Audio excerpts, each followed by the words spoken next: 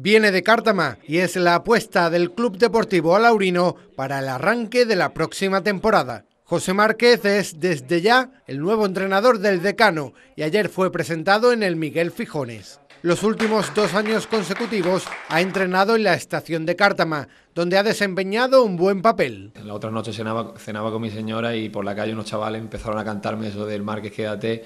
y ha sido muy especial, ha sido un club en el que hemos hecho un grupo muy bueno,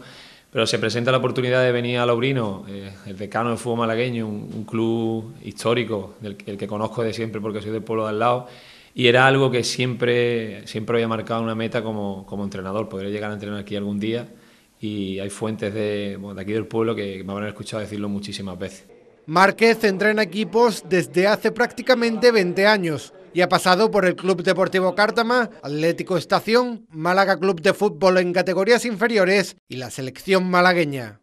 En Alaurín el Grande se encuentra un equipo recién descendido que entra en una categoría nueva, la División de Honor. Y aportar al club, traer eh, esos puestos específicos que nos faltan, que, que nos, conocen el saltito de calidad y que nos permitan competir en una categoría que no olvidemos es nueva, nueva para nosotros también, porque nunca hemos estado en esa categoría, hemos estado en una superior o en una directamente inferior como primera andaluza,